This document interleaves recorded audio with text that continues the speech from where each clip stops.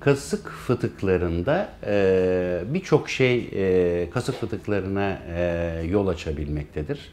Bunların başında çok ağır kaldırma, işte bir perde asma gibi aşırı uzanma, e, aşırı kilolu e, olma, e, bunların dışında e, diyabetin, e, infeksiyonun, ee, özellikle erkeklerde prostat hipertrofisinin e, olması yani prostatın büyüklüğü de yine kasık fıtıklarına sebep olabilmektedir.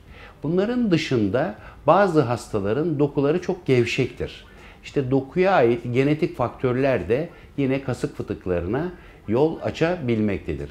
Yani genel olarak konuşacak olursak daha çok e, dokuya ait genetik faktörlerin dışında e, karın içi basıncını arttıran olaylar e, kasık fıtıklarına sebep olabilmektedir.